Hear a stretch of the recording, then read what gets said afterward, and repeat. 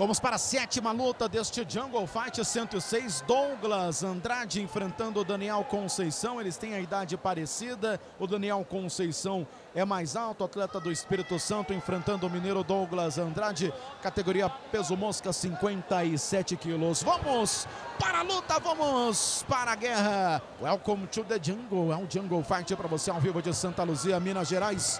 Você vem com a minha narração, Guilherme Maia, os comentários dele, Felipe Cabocão. Vamos ver essa luta muito esperada, pegou fogo na pesagem hoje, ontem, e vamos ver como os atletas vão se apresentar hoje dentro de um evento da América Latina, que é o Jungle Fight. Daniel já jogou o swingão ali, passou no vazio. Contra-golpe do Douglas. Douglas, calção branco, shorts ali estampado para o Daniel. Bom chute do Douglas, chute baixo, responde o Daniel. Dois atletas muito ágeis ali. A expectativa é de uma grande luta. Três rounds de cinco minutos ou até durar o estoque. Realmente dois atletas muito bons. É, dá pra ver na postura deles de luta que são atletas que estão bem preparados fisicamente e tecnicamente também para lutar o maior evento da América Latina. Então veremos aqui uma luta que será decidida nos detalhes aqui dentro do maior evento da América Latina, que é o Jungle Fight. Soltou o braço ali o Daniel. Ó, provoca o Douglas. Douglas falou, pode vir. Ó o chute do Daniel. É aquele chute do Anderson Silva contra o Vitor Belfort, né? O que a galera começou a treinar esse chute depois dessa luta, hein, Cabocão? É, realmente dá pra ver que o Daniel consegue conectar, é, conectar bons golpes. Tá ganhando o centro do octógono. O Douglas está tentando, tentando abalar psicologicamente o Daniel, mas o Daniel tá andando pra frente, está conseguindo conectar os melhores golpes até então no combate para a galera que é mais técnica, né? Ficou conhecido aí como pisão frontal. Quase dois minutos completamos nesse duelo entre o Douglas Andrade Nicásio da Gordin Fight Team de Belo Horizonte enfrentando o Daniel Conceição da TF Team de Conceição da Barra, Espírito Santo. É, dá pra ver que o árbitro Ramon tá muito atento a todos os momentos aqui. Como sempre, a arbitragem de Jungle faz mostrando o excelente trabalho. Agora o atleta do corner amarelo, Douglas, conseguiu um excelente takedown. Caiu por cima, está conseguindo trabalhar o ground and pound. E o Daniel está por baixo, trabalhando boas cotoveladas. Como sempre, os árbitros aqui laterais atentos também. E o árbitro principal muito atento, como sempre, no Jungle Fight. Vai trabalhar no ground and pound agora o Douglas Andrade. Se protege ali o Daniel com as pernas, solta ali pedaladas. Vai esperando ali o espaço, o momento certo para conseguir se levantar. Pensei, até, pensei agora que o Douglas ia sair uma chave de pé, né? mas ele, ele dominou aquele, aquela, aquela pegada. Dá para ver, imaginar que ele tava, ia dominar uma chave de pé ou chave tornozelo, mas desistiu. Agora o Douglas estava por cima batendo, agora está na grade, sendo controlado pelo atleta do Colors Verde, o Daniel. E é isso que é premiado? Muda muito, ele tem essas transições aí de chão, agora eles estão no grappling. E agora, nesse exato momento, o Daniel, né, do, do Verde, está no controle. Menos de dois minutos para terminar o primeiro round de luta. Eles vão trabalhando ali na luta agarrada. Solta a joelhada. O Daniel. Douglas vai tentando ali a queda. Boa queda. A queda do judô. Bonito demais. Daniel já se levanta. Eles voltam para a posição de trocação. É, ele, ele conseguiu conectar uma excelente, uma, uma excelente queda do, do judô, que é o Harai Gosh. Porém, caiu é, nas, nos 100 quilos e automaticamente o Daniel que caiu por baixo já conseguiu reverter. E agora está no meio do octógono, controlando o centro do octógono nesse exato momento. E até então uma ligeira vantagem para o atleta Daniel do corner verde. O árbitro Ramon Kawahara acompanhando de perto ali.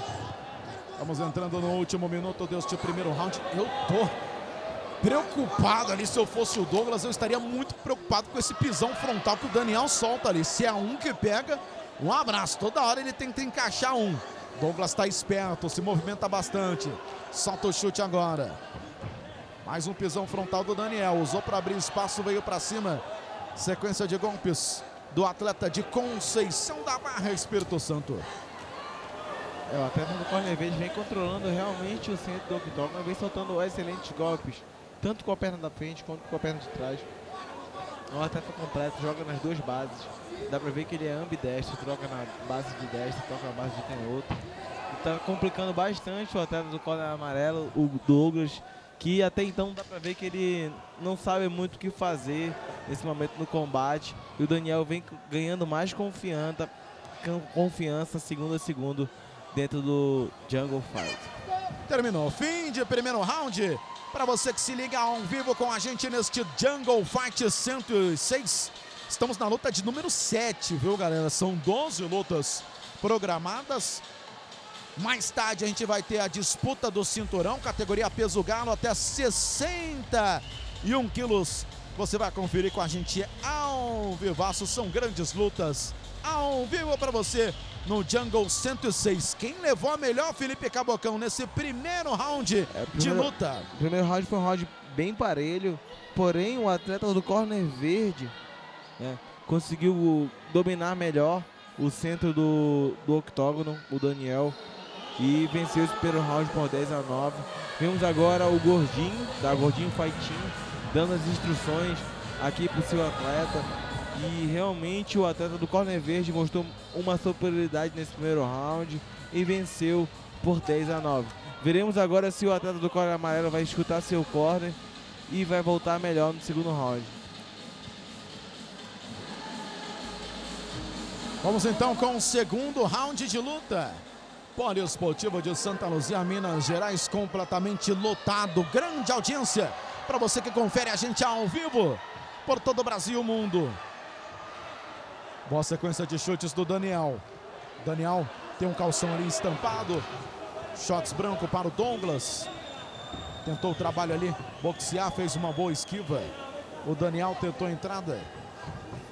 Mais uma vez ali o Daniel, ó com um pisão frontal, com um pisão ali também, tentando buscar ali o tornozelo do Douglas. Douglas está esperto, não pode moscar um minuto, não pode perder a atenção ali o Douglas, porque o Daniel tem uma sequência muito boa ali de golpes, um repertório muito bom já demonstrado aí no primeiro round.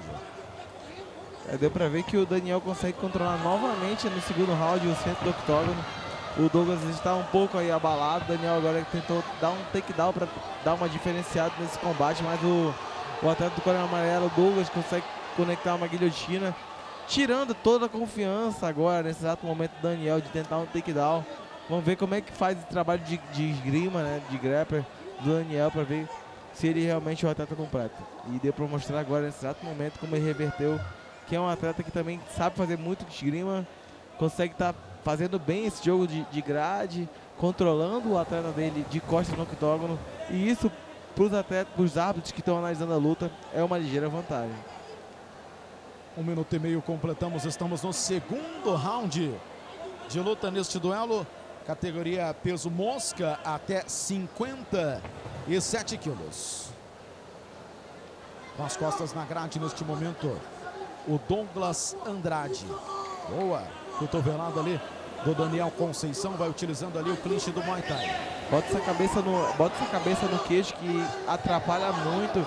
E o nosso árbitro aí, o Kawahara, tá atento a todos os detalhes aqui, como sempre no Jungle Fight, todos os árbitros atentos, vendo qualquer movimento dos atletas. E o Daniel consegue manter aí uma ligeira vantagem.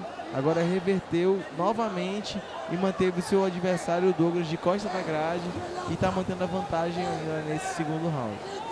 E é um show de transmissão para você. São várias câmeras espalhadas aqui pelo Polo Esportivo de Santa Luzia. Um show de transmissão para você do Jungle Fight 106, o maior evento de MMA da América Latina. Chegamos na metade deste segundo round. Vemos o nosso árbitro lá pelo lado de fora, analisando todas as pegadas do adversário, porque a grade pode ser usada para ser apoio, mas o atleta não pode segurar a grade. E os atletas de, e, e, os árbitros do jogo estão sempre atentos nesses detalhes. Temos um árbitro dentro do octógono e o outro árbitro fora do octógono analisando tudo isso.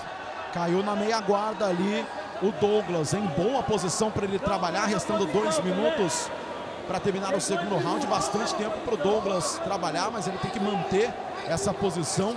Se conseguir manter, pode buscar aí, quem sabe, uma finalização. Com certeza, Guilherme. Até então, o Daniel estava controlando o Douglas na grade, estava na vantagem.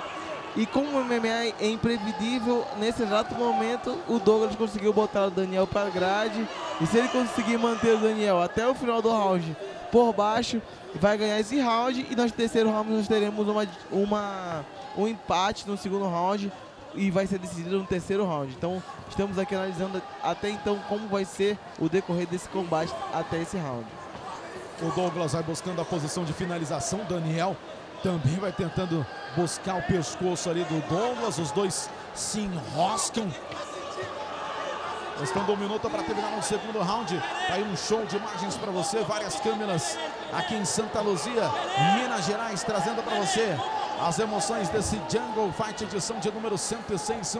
Muita história, muita tradição. Daqui saíram grandes e grandes lutadores. Inclusive o nosso Felipe Cabocão, que está no UFC, vai lutar dia 21 de maio.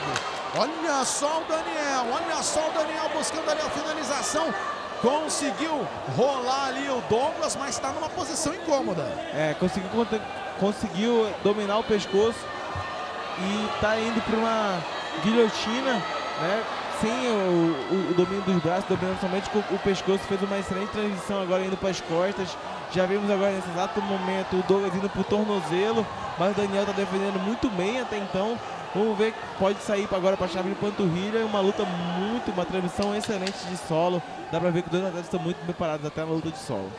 Vai terminar o segundo round. Grande luta entre o Douglas Andrade e o Daniel Conceição, que você confere com a gente ao vivo. Fim de segundo round. Olha, Felipe Cabocão, uma luta de altíssimo nível técnico. É altíssimo nível, Guilherme. Vemos agora um empate até então o atleta do corner amarelo conseguiu uma vantagem agora nesse segundo round e a luta vai ser decidida nesse terceiro round. Vemos o atleta do corner verde é, sentindo um pouco a preparação física e o, o atleta do corner amarelo também está conseguindo é, respirar bem. Vemos o Gordinho, que é uma, uma academia muito tradicional aqui do Jiu-Jitsu, grandes atletas, inclusive o Caio Gregório, que já disputou o cinturão de Jungle Fight. E hoje estamos aqui com o Gordini passando as instruções no cara amarelo. E a, e a luta vai ser decidida nesse terceiro round, Guilherme. Quem vencer esse terceiro round automaticamente leva a luta. E é uma luta muito disputada. São atletas extremamente estéticos, técnicos. Vamos ver quem escuta melhor o corner agora e consegue manter uma estratégia melhor. A opinião aí do nosso Felipe Cabocão. Então, na visão do Cabocão, luta está empatada tudo igual aí, um a um. 19 a 19 para Douglas Andrade e Daniel Conceição. Vamos para o terceiro round dessa luta, categoria peso mosca até 57 quilos. Vamos juntos com o último round de luta. Na sequência tem mais lutas para você. Estamos na sétima de 12 lutas programadas. Já começa com tudo, hein? Já começa com tudo o terceiro round. É, vamos ver agora, como, como falei, os dois atletas agora tem que buscar a luta. Quem vencer esse round automaticamente vence o combate. Então vamos ver agora o querer dos dois atletas. Quem quiser mais vai ganhar essa luta e vai ter um verdinho no, no Sherdog. A luta decidida agora nesses cinco minutos finais. E os dois parecem estar muito bem preparados fisicamente também. Isso é muito bom. Os dois chegam muito bem para esse terceiro round. Tá aí, entrou com o golpe o Daniel, resposta à altura do Douglas. Bom trabalho de esquiva ali, se esquivou bem o Douglas. A tentativa do Daniel, que vai soltando golpes, mas solta muitos golpes no vazio, Daniel. Realmente, Daniel tem um boxe muito bom, mas está jogando é, golpes no vazio. Acredito que se ele conseguir conectar os golpes no corpo, ao invés de jogar na cabeça, vai ter uma ligeira vantagem. E nesse round também o atleta do corner verde está conseguindo ter uma vantagem é, em relação ao atleta do corner amarelo, está mantendo ele no chão. E os árbitros aqui do Jungle Fight sempre atentos à pegada na grade, controle de grade, para que os atletas não utilizem o controle de grade com uma trapaça. Os árbitros estão lá analisando qualquer, momento, qualquer movimento para ver quem vai conseguir manter esse controle agora na grade. Vamos ver, joelhada agora do Daniel. Vai colocando pressão para cima do Douglas. Vamos completando dois minutos, estamos no último round de luta. Lembrando para você, são três rounds de cinco minutos ou até durar o estoque menos na última luta, porque na última luta vale cinturão, um cinturão que tá vago. Daqui a pouquinho o Cabocão vai explicar melhor pra gente essa briga pelo cinturão na luta principal, na luta da noite daqui a pouquinho. É, agora o, o, atleta do Corner Verde mais uma vez consegue controlar o, o Douglas na grade, vem mantendo esse ritmo aí.